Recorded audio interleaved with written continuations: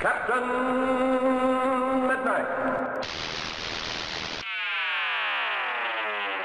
This video is brought to you by Skillshare.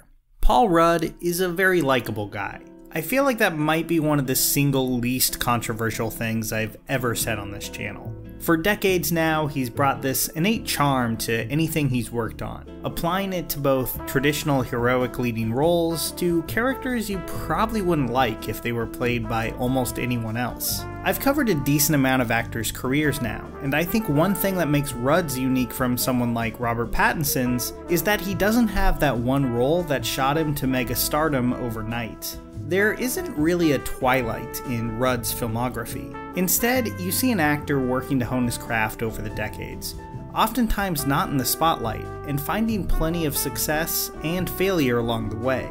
And that's what I want to cover this week. Rudd has an impressively long IMDb page, so there's just no chance that I can talk about everything, but I think when you take a step back and take it as a whole, a picture really emerges of someone who started out almost purely as a character actor before transitioning into leading man roles slowly but surely over time. And I think that's a really interesting journey to talk about.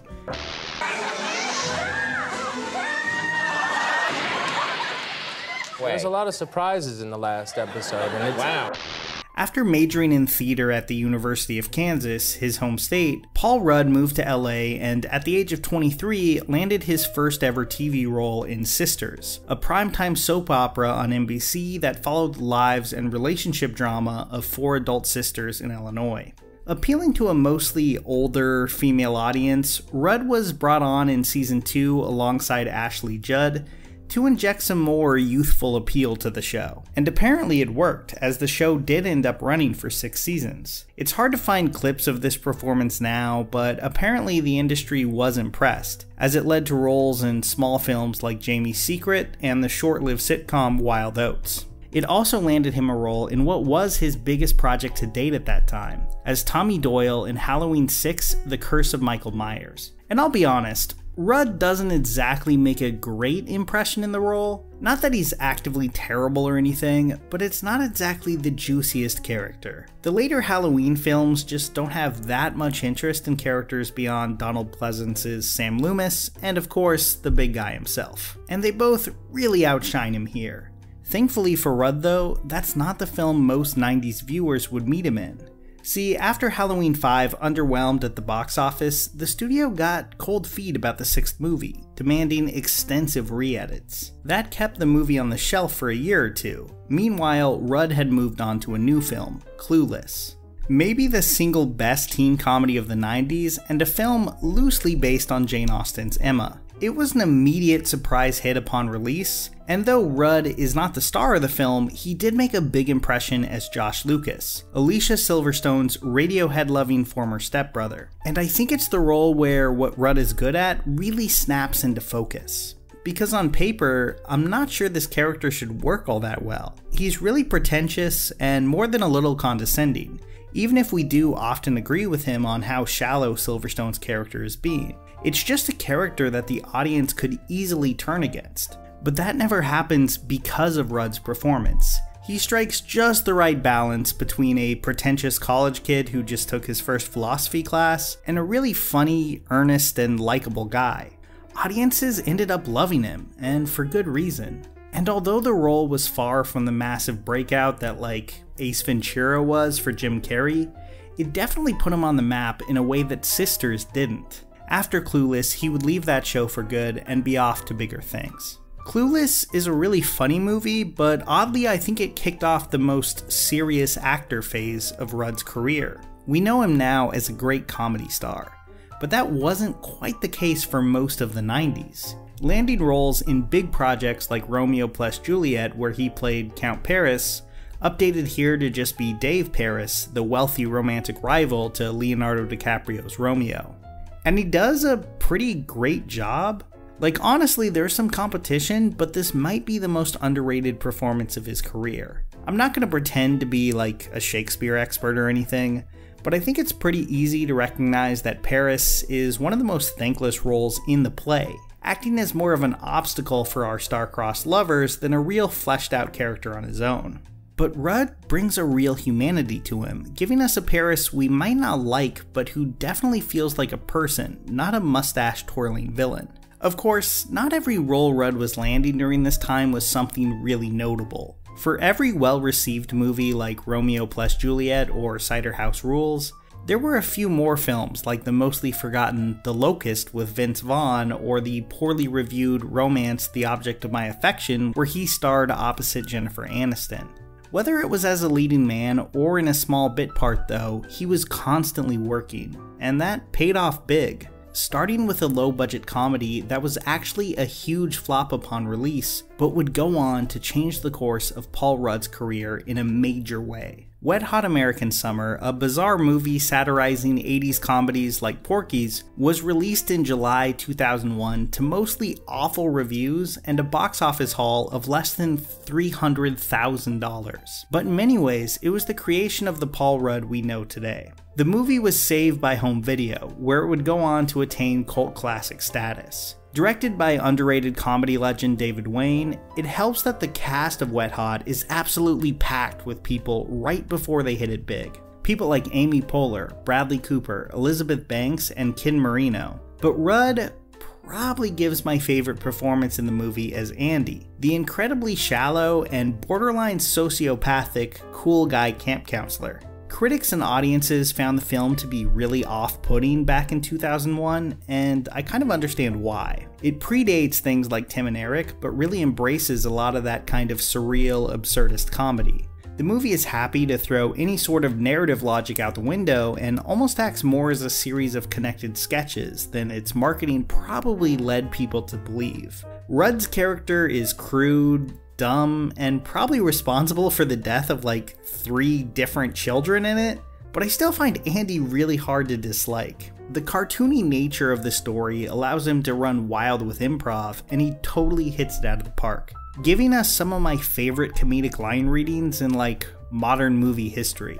It's the rare comedy that gets better on re-watches, and Rudd is a big part of why. It was also the film that gave him the comedy world connections that would change his career forever. The wider world may not have taken notice of the movie, but comedy writers and directors like Judd Apatow definitely did. 2002 brought a far bigger profile role for Rudd, but one that he wasn't totally happy with.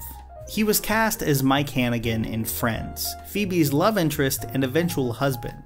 That was definitely a big get for any actor. Friends was about as huge of a hit as any scripted show ever. But the role of Mike wasn't really an exciting one. Like, he's fine here, and he has good chemistry with Lisa Kudrow, but it's just not a character with much going on, like with him usually just getting called upon to react to the rest of the cast's antics, rather than getting to do much on his own.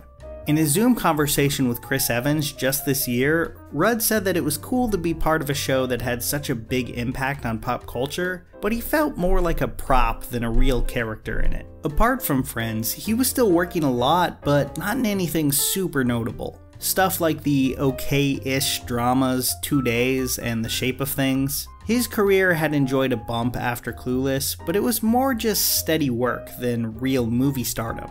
That all happened to change the year that Friends wrapped up, though. Anchorman The Legend of Ron Burgundy was released in July 2004 and made a respectable 90 million at the box office, before going on to be an absolute monster hit on DVD. Directed by Adam McKay and produced by Judd Apatow, Anchorman actually has a lot in common with Wet Hot American Summer. They're both absurd and at times surreal comedies, with a ton of improv. But Anchorman, having a bigger budget and more well known stars, was able to package that in a way that wasn't so off putting to the average moviegoer. Will Ferrell is definitely the lead as Ron himself, but Rudd gets plenty of time to shine as Brian. And like Andy in Wet Hot, Rudd is able to take a character who is just like an objectively terrible human being and turn him into a really likable character. A lot of Anchorman bits have really worn out due to years of people quoting it and a mostly mediocre sequel, but going back to rewatch it, it's easy to see why this thing took off like it did in 2004. The cast is able to balance the absurd comedy with some surprisingly good dramatic moments, and that's something Rudd really excels at.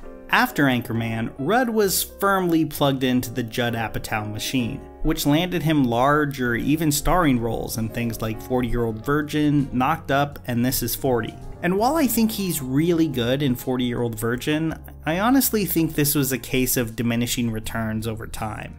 He's the actual star of This Is 40, but to me, it's just far from his best work. With a bloated running time and a boring story about how hard it is to be a wealthy 40 year old man in Los Angeles, it's probably the least I've ever liked Rudd on screen. Where David Wain and Adam McKay were able to lean into Rudd's goofy likability in service of creating some really fun and absurd characters, Apatow's movies often cast him as kind of a boring everyman, which he's good at, but it's often not where I like him best. I Love You Man does something similar, but much more effectively, as I think him and Jason Segel just play off each other really well. He'd also work with Wain a few more times, most notably on Role Models, which honestly might be the first thing I ever saw him in. I don't think he's as great here as he is in like Anchorman, but honestly, it's a movie I can go back to over and over again. And it kind of ended up being one of the most underrated studio comedies of the 2000s. 2010 and 2011 brought a pair of starring vehicles that apparently no one but me likes all that much. In Our Idiot Brother and Dinner for Schmucks, our Idiot Brother is, in many ways, a bog standard indie dramedy, as it follows Rudd's bearded pothead character Ned as he gets out of prison and tries to reconnect with his family, played by other well known actors like Rashida Jones and Zooey Deschanel. The script and the direction are nothing mind blowing, but Rudd is giving it his all here. Ned is a great character, this well meaning, likable guy who keeps putting himself in bad situations. He can be so dumb that I really think the audience would resent him if he wasn't played by Rudd, who really holds this entire movie up on his back.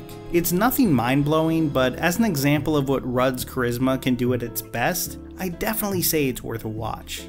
While Dinner for Schmucks is more of a showcase for Steve Carell, Rudd does a great job of playing a Jason Bateman esque straight man. A guy who has been told by his bosses that he must find one weirdo to bring to dinner so that they can all mock him.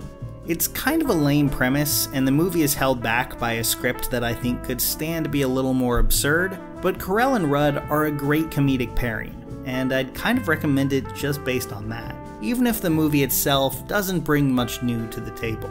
Rudd has also made himself the kind of actor you love to see pop up in smaller roles too.